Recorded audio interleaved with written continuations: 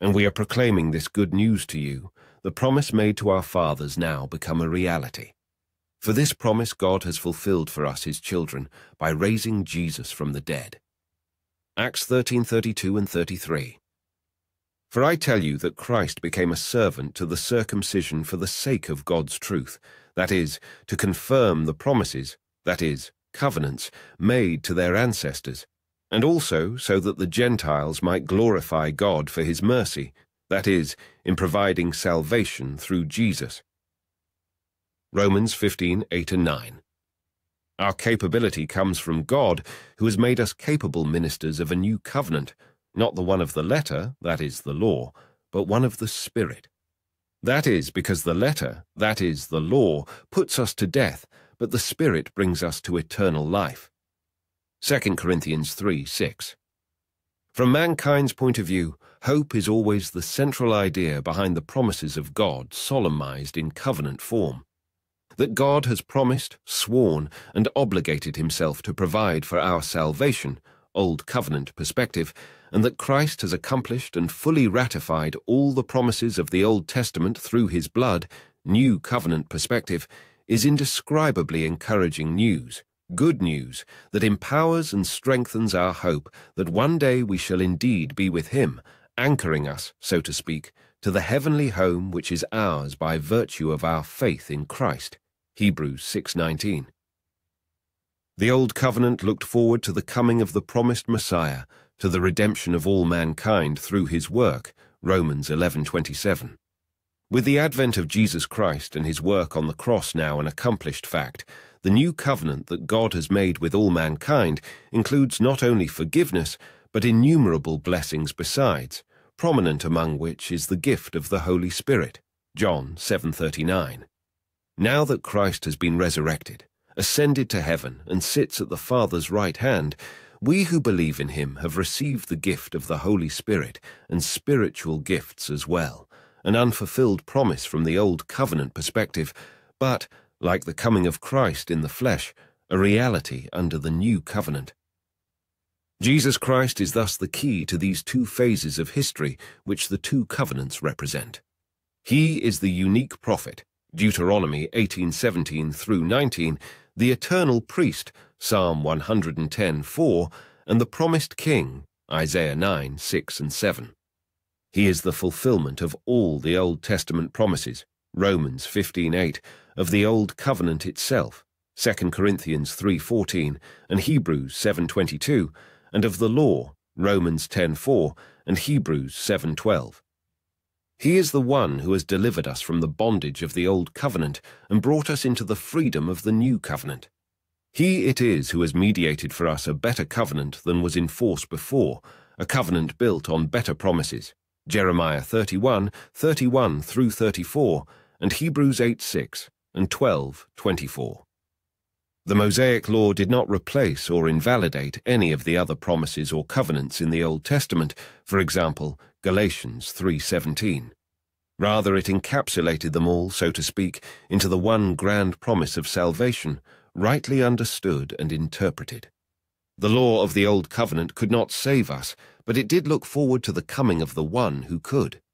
The failure of the Jerusalem congregation and many Jews and Gentiles ever since has been to overlook that most critical of all truths and attempt to gain salvation through the works of the law rather than the faith it was meant to inspire, something God never intended, an impossible and blasphemous approach which has always been destined to stumble over Jesus Christ, the cornerstone of God's plan, and discover thereby a rock of offense.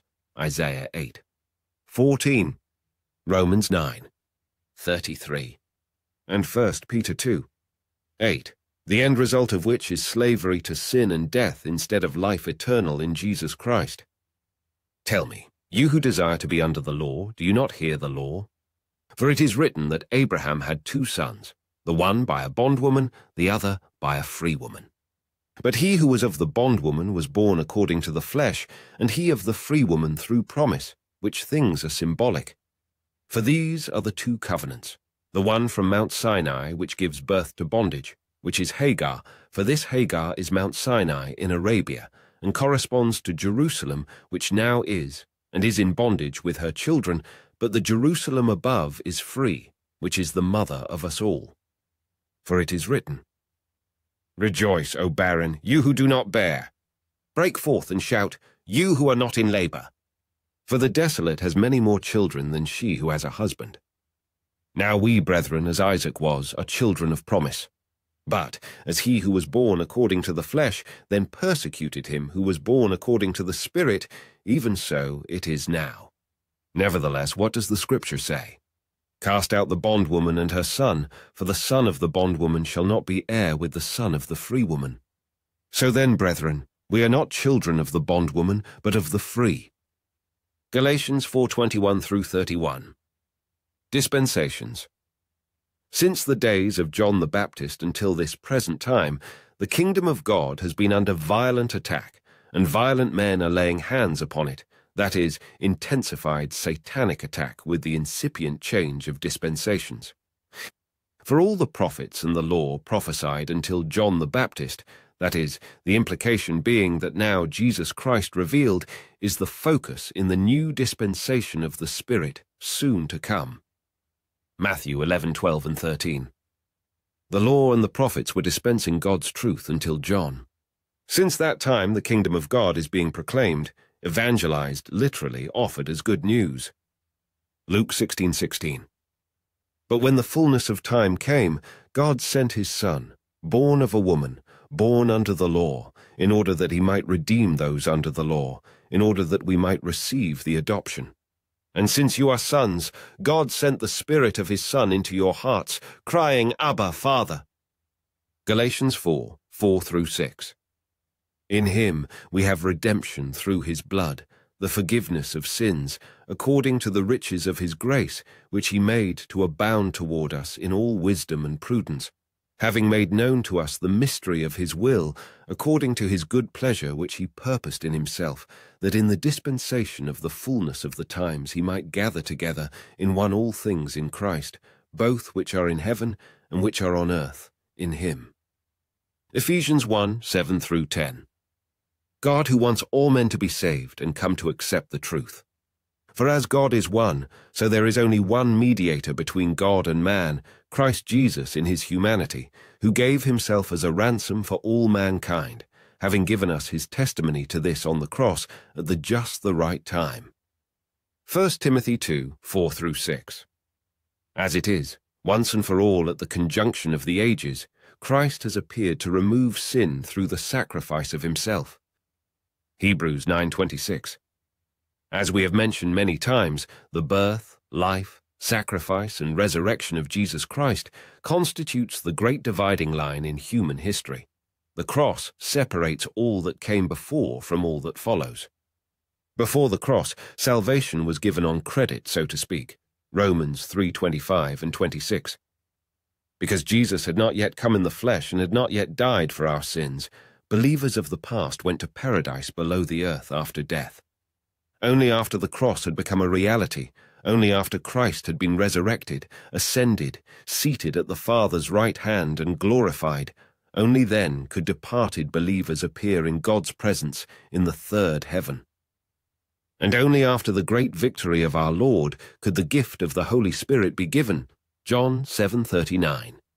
Thus it is that only on this side of the cross could the church age begin, the age of the great Holy Spirit empowered expansion of Christ's assembly through the gospel, the good news about the death and resurrection of Jesus Christ on our behalf.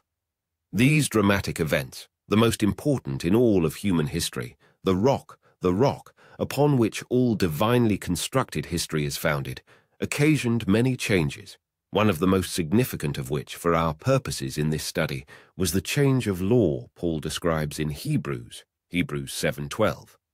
This was a complete change of dispensation or divine administration of the plan of God, a mystery not anticipated before it happened, one which shifted the focus of that plan away from Israel under the Mosaic law and to the entire assembly of the church throughout the world in the power of the Holy Spirit instead, whereby all things were to be incorporated in the one who won that victory upon which the entire plan of God is predicated, the Messiah, our dear Lord and Saviour Jesus Christ.